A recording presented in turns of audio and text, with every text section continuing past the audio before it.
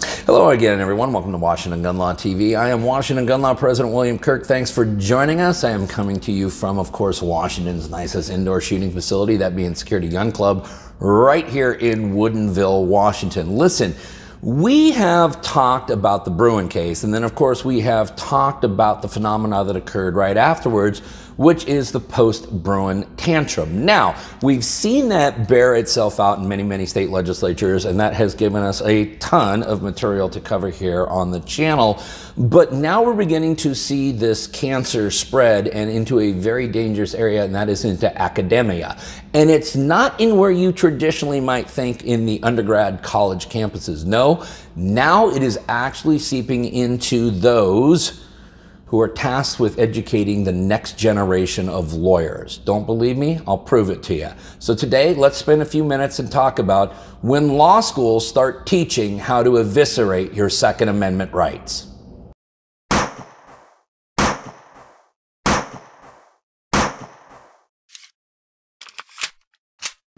Okay, so the issue we're talking about is an excerpt from an upcoming law review journal authored by one associate professor and one assistant professor at two well known law schools. We will get to them in a moment. Now, for those of you who did not suffer the misery of going through law school, one of the tasks of many of the professors, especially those who are associate or assistant professors who want to become tenured professors, is to get published in law review journals. Every law school has at least one law review. Many um, law schools, the more prestigious ones, will have multiple law review journals, which of course will cover various aspects of the law. Now, what we have here is an excerpt, essentially kind of a sneak peek of a journal that is coming out by these two associate professors. The first professor is Assistant Professor Peter N. Salib of the University of Houston Law Center. So understand Professor Salib is in fact an assistant professor, and so you're going to oftentimes get a lot more publishing out of them. Now, the co-author of this article is Guha Krishnamurthy of the University of Oklahoma College of Law. So these two individuals are tasked with writing a law review article, and the topic of that is qualified immunity as gun control. And you sit there and you say, well, what is qualified immunity? Well, we're going to geek out for a minute here. Here it is in really simple English, hopefully easy to understand terms.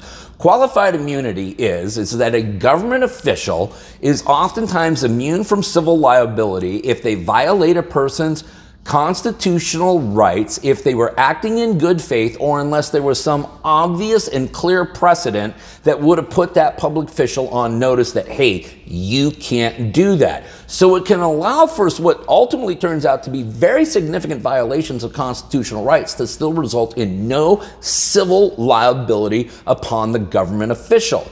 Now, what these two brainiacs are suggesting is, is in the post-Bruen era, that we are just going to have a hard, hard time figuring out how to get guns from people. And so what these law professors, and let me remind you that, that these law professors are now preaching in this law review article is to go out and blatantly and willfully violate individuals' constitutional rights and then just hope that qualified immunity saves the day. Don't believe me? Here's what the excerpt reads. The Supreme Court's ruling in Bruen threw the political project of gun regulation into question. Before Bruen, states could enact new kinds of gun restrictions if they passed a relatively stringent means-ends test. That is, if laws meaningfully reduced danger while not too heavily burdening the right of self defense, they were allowed. After Bruen, only gun controls actually in force in the founding era and their close analogs are permissible. Many fewer regulations will now pass the constitutional test. And the only thing that I would agree with in that first paragraph is the last sentence, which, yes, it did make these types of laws more difficult to pass. Now, to suggest that it was a stringent means end analysis, one that, oh, these laws were just run through. Ask yourself this question how many laws were ever thrown out under that stringent exam? But you see, then this article gets way, way worse because this is how it continues. Here, we suggest an unlikely source of continuing power after Bruen for states to disarm individuals they deem dangerous. Qualified immunity. Qualified immunity shields state officers from monetary liability for many constitutional violations.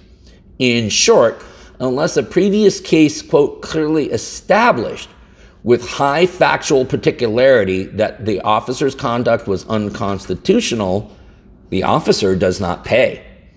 Thus, a state law enforcement officer may, after Bruen, confiscate an individual's firearm if the officer deems that person too dangerous to possess it.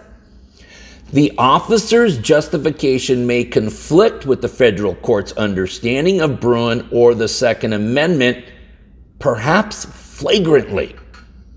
But unless a previous authoritative legal decision examining near identical facts says so, the officer risks no liability. And because each individual act of disarmament will be unique, such prior decisions will be vanishingly rare. The result is a surprisingly free hand for states to determine who should and who should not be armed, even in contravention of the Supreme Court's dictates. And we will actually post a verbatim quote of that down in the description box. So, yes, these two assistant law professors, one from the University of Houston, one from Oklahoma University, are advocating in a law review article that government officials, who should always have the ability to deem who should be armed and who should not, should just go out and confiscate weapons, even if it is in flagrant violation of the law and the Constitution, and then just hope that qualified immunity covers them. This, my friends, is the type of stuff that is being used to educate the next generation of lawyers in this country. And let us not forget that this is not an isolated incident. Moms demand action, Giffords have both run around to law schools, making law students pledge that whatever they do once they get out of law school, they will not work for anybody who represents gun rights. So not only do we have a complete legal and constitutional war under, underway here, we also have a cultural war which is now spilled into higher academia. This, my friends, is one of the many, many ways that this group intends on achieving civilian disarmament. We'll put links down below for all the information so you can verify the sources yourself. If you have any questions about this or anything else in the future, you should know how to contact Washington Gun Law by now. But if you don't, that's okay. That information is down there in the description box. In the meantime, let's all remember that part of being a lawful and responsible gun owner, like we talk about all the time here, is to know what the law is in every situation and how it applies to you in any instance that you may find yourself. Until next time, thanks for watching. Stay safe.